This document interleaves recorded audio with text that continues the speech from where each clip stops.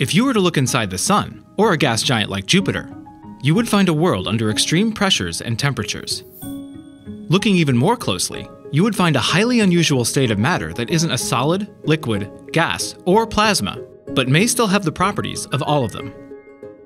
Called warm dense matter, it's important to the understanding of the cores of gas giants and stars, the physics of planetary formation and stability, and fusion.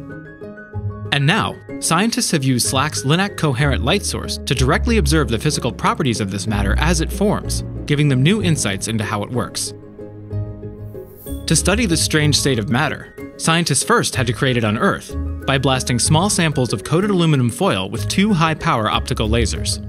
The lasers hit opposite sides of the outer coating at the same time, heating it up and causing it to emit powerful shock waves that crush the aluminum at pressures similar to those deep inside Jupiter.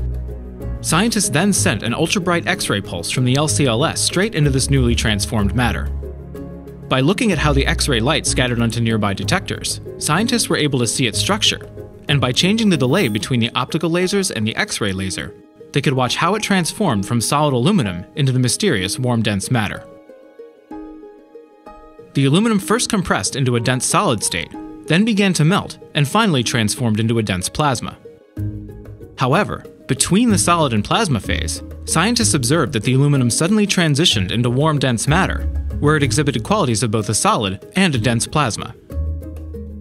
These observations paved the way not only for a better understanding of planetary formation and dynamics, but also advances in materials science and fusion energy research, giving scientists a new way to look at the many processes that generate this hard to study state of matter.